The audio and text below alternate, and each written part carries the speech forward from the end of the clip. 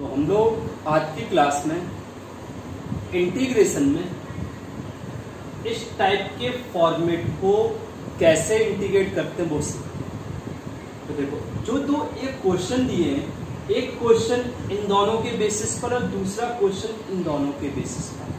ठीक है? अच्छा जो तरीका इसके लिए रहेगा वही सेम इसके लिए रहेगा। जो तरीका इसके लिए रहेगा वही सेम इसके लिए तो इन दोनों में से हम सेक स्क्वायर टाइप का एक क्वेश्चन ले लिए और इन दोनों टाइप में क्वाड स्क्वायर टाइप का एक क्वेश्चन ले लिए। तो जैसे हम सेक स्क्वायर वाले फॉर्मेट को इंटीग्रेट करेंगे, वैसे ही कॉसिक स्क्वायर अब देखो। प्लस माइनस जैसा प्लस के अकॉर्डिंग होता है, वैसे माइनस के अकॉर्डिंग होता है। तो ये वाला क्वेश्चन करते कैसे हैं इसका integration of root over two sec square x plus three सबसे पहला काम होता है, जो ये रूट में इसी रूट टाइप का ऊपर नीचे इंटू करते मतलब हम इसको ऐसा लिख सकते हैं टू सेक स्क्वायर एक्स और plus three upon root over two sec square x plus ये तो इसके अकॉर्डिंग इसको ऐसा लिखा जा सकता है, समझ में आ गया? मतलब root two sec square x plus three का इसमें इंटू कर दिया और डिवाइड कर दिया। अब हम सेपरेट कर देते हैं। तो इधर आएगा two sec square x upon root over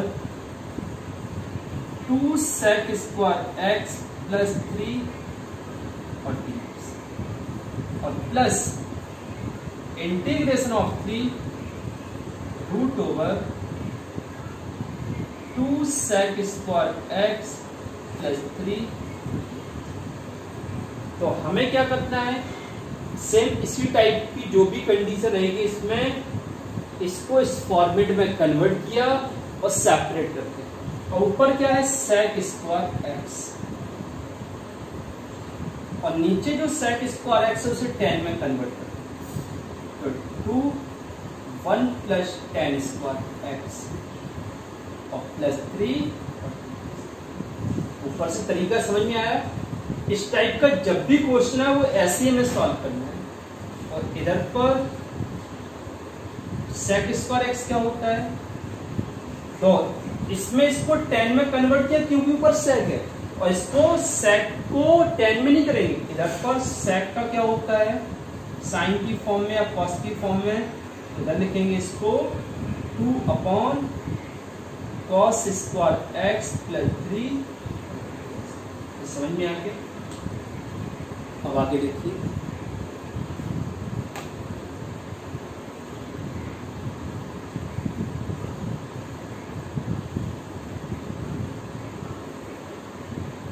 अब इसमें टू के अंदर मल्टीप्लाई कर दो।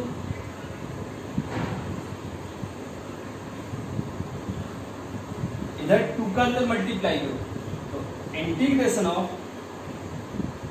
two sec square x upon root over two plus two tan square x ठीक है? अब इसके बाद प्लस थ्री और प्लस इसमें कॉस स्क्वायर एक्स अपॉन में एलसीएम आएगा तो two plus three cos square x और कॉस ऊपर हो जाएगा। इसका भी आ जाएगा इंटीग्रेशन ऑफ़ कॉस एक्स और रूट के अंदर two my two plus three cos square x समझ में आ गया? अब इधर देखिए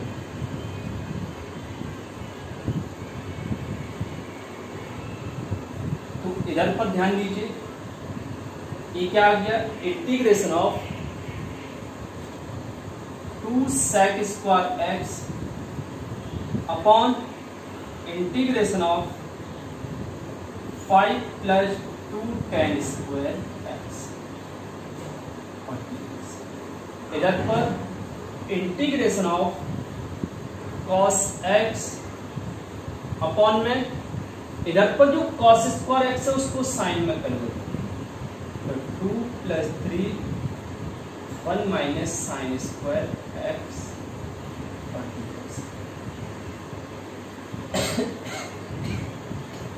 अब इस वाले फॉर्मेट को हमें इंटीग्रेट करना आता है। टेन एक्स को टी सब्सिट्यूट करेंगे सेक स्क्वायर एक्स कैंसिल हो जाएगा। तो हम टेन एक्स को टी सब्सिट्यूट करेंगे। तो सेक स्क्वायर एक्स कैंसिल हो जाएगा तो ए आपसे बन जाएगा। इधर देखो। इसमें ऊपर कॉस एक्स और नीचे क्या आ जाएगा? रूट ओवर टू फाइव इधर ऐड कर देते हैं five minus three sine square A भी बन जाएगा हमसे। साइन एक्स को टी सब्सिट्यूट करेंगे ऊपर। कॉस एक्स कैंसिल हो जाएगा। तो इसके बाद जो टी की फॉर्म में रूट के अंदर फॉर्मेट बनेगा।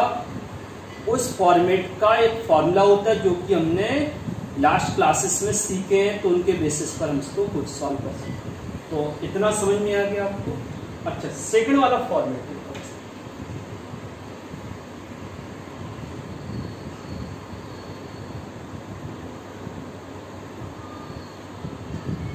integration of root over three bracket में कॉट स्क्वायर एक्स और प्लस